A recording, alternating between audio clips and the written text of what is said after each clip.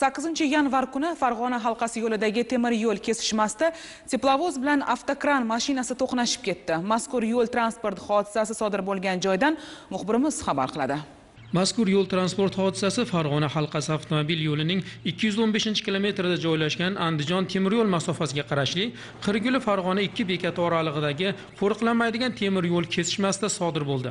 Farg'ona viloyati elektr tarmoqlari korxonasiga qarashli man rusumli avtokran temir yo'l kesishmasidan o'tayotgan chog'ida ichki yo'llarda yuk tashuvchi teplovoz bilan to'qnashib ketgan.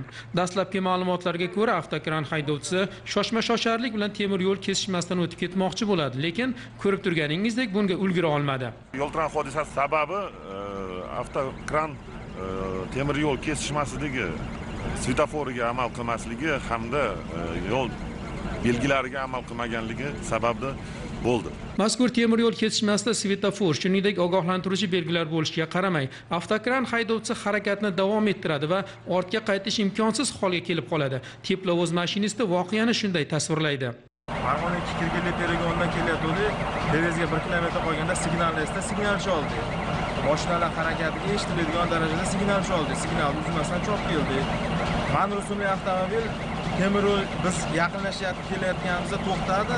Biz yaqin qolganimizda o'tib ketaman harakatni harakatni davom ettirgan paytda shu avtohalokat yuz berdi. Shopirini oldim moshinaga ekstremniy moshinasiga ekstremniga jo'natib yubordim yo'l transporti hodisasi natijasida avtokran haydovchisi yengil tan jarohati oladi va zudlik bilan shifoxonaga yotqizildi. Ushbu yo'l transporti hodisasi bo'yicha surishtiruv ishlari olib borilmoqda. Vohidjon qalandarov farhodjon nishonov farg'ona yoshlar.